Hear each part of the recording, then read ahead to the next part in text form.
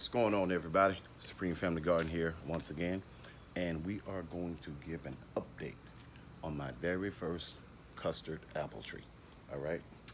Now guys, this I tasted this fruit with some of my friends down in South Tampa and it was amazing. So this particular tree again is from Excalibur Nursery down out of uh is it Miami, honey?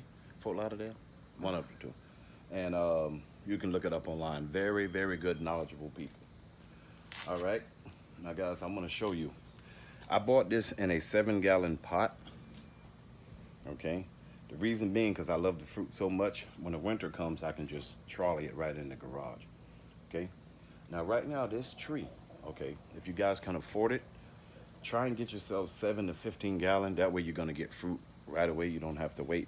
Plus, it's more cold retardant once the tree's a little bit older, okay? Now, to the good part. Let's look at some fruit, have we? look at that, guys. Look at that spider. Same color as tree. You guys see that little fella right over here? See the little insect? Take him aside, feed him to the piranha. Okay, now look at here.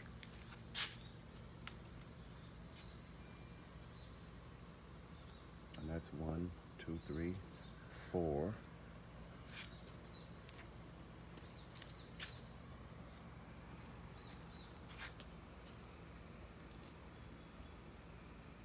Five, six,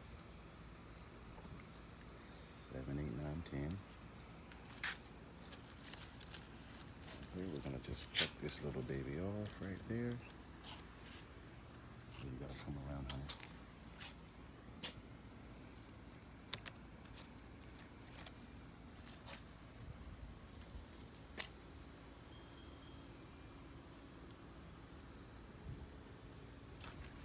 right in there. You guys can see the little twins back here in the hole.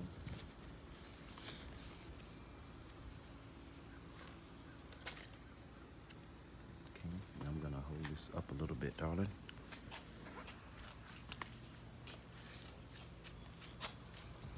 Okay, here we get this, here we get this in the hole.